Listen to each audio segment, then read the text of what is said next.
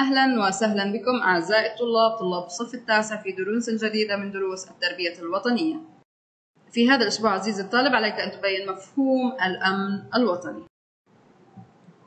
مفهوم الأمن الوطني هو قدرة الدولة على حماية أراضيها وشعبها ومصالحها من أي عدوان خارجي بالإضافة إلى قدرتها على التصدي لحل المشاكل الداخلية والعمل على حلها وعلى تجدير الولاء والانتماء للوطن والقيادة.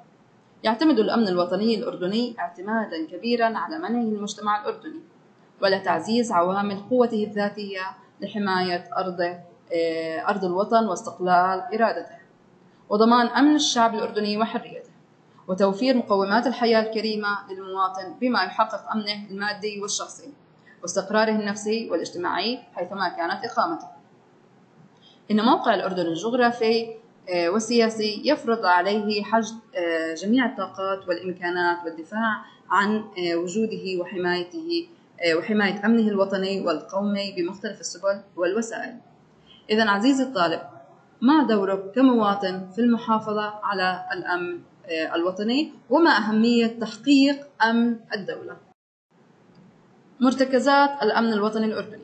استقرار النظام السياسي في الدولة ترسيخ النهج الديمقراطي إذ يعد عنصرا أساسيا لتعميق روح الانتماء للوطن وتعزيز الثقة بمؤسساتها والإسهام آه، في وحدة الشعب الأردني وحماية أمنه الوطني والمشاركة الحقيقية للمواطن كافة في إطار من العدالة الاجتماعية. وتكافؤ الفرص والتوازن بين الحقوق والواجبات. الأمن الوطني الأردني هو جزءا من الأمن القومي العربي ويؤثر فيه ويتأثر به سلبا وإيجابا. تعميق مفهوم الاحتراف لدى قواتنا المسلحة والأجهزة الأمنية والعمل على توسيع قاعدتها وتعزيز قدراتها وتطويرها أيضا من مرتكزات الأمن الوطني عزيزي الطالب هي العناية بتطوير أجهزة الأمن الوطني وتأهيلها للقيام بواجباتها على أكمل وجه لحماية أمن الدولة آه، الداخلي والخارجي هل يكون تحقيق الأمن الوطني للدولة مسؤولية فردية مسؤولية فردية أم جماعية عزيزي الطالب؟ أيضا آه، عزيزي الطالب من خلال آه، البرلمان الطلابي بين دور الطالب في الحفاظ على الأمن الوطني. بعد ذلك آه، عزيزي الطالب علينا أن نبين أبعاد الأمن الوطني. ما هي أبعاد الأمن الوطني؟ هي البعد العسكري البعد السياسي والبعد الاجتماعي. البعد العسكري وهو يعني البعد قدرة الدولة على الدفاع عن نفسها. ورد على أي عدوان عسكري كما يعبر عن قدرة الدولة على إنقاذ خياراتها السياسية باستخدام القوة العسكرية إذا اضطرت إليها. وتستطيع الدولة زيادة قدرتها الدفاعية بعقد اتفاقات آه، عسكرية أو الانضمام إلى أحلاف مناسبة آه، لأهدافها الوطنية وتأمين الموارد المالية اللازمة لذلك.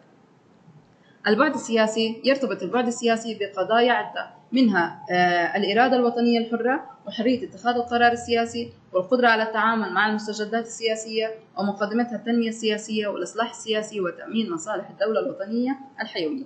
البعد الاجتماعي آه، يهتم البعد الاجتماعي آه، بحفظ الإنسان والمجتمع. ويشمل النواحي الحياتية التي تهم الإنسان ويضمن للمواطن أمنه على نفسه وماله. وهذا يؤدي إلى التماسك بين أفراد المجتمع. أما البعد الاقتصادي ما المقصود بالبعد الاقتصادي؟ وإلى ماذا يهدف؟ يهدف البعد الاقتصادي إلى التنمية البشرية. آه، وقدرة الدولة على تأمين اقتصادها ومشروعاتها الاقتصادية ضد أي تهديد داخلي أو خارجي واحترام الملكية الخاصة وتشجيع المبادرات الفردية وتأمين بيئة استثمارية آمنة. البعد الثقافي. البعد الثقافي هو الحفاظ على المكونات الثقافية الأصيلة آه، في مواجهة التيارات الثقافية الوافدة وتحصين الهوية الثقافية من الضياع. والحفاظ على الثقافة العربية الإسلامية في مواجهة التحديات الخارجية. البعد البيئي وهو توفير الأمن للناس من الأخطار الطبيعية أو البشرية نتيجة الإهمال أو الحوادث أو سوء الإدارة. والحفاظ على البيئة الأردنية وحمايتها من التلوث والتعاون والتنسيق بين المؤسسات الرسمية والهيئات الاجتماعية المتخصصة.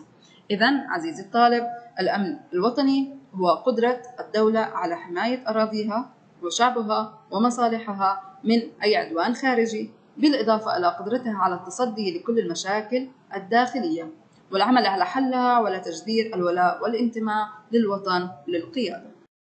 شاكرة لكم أعزائي الطلاب حسن استماعكم وتعاون.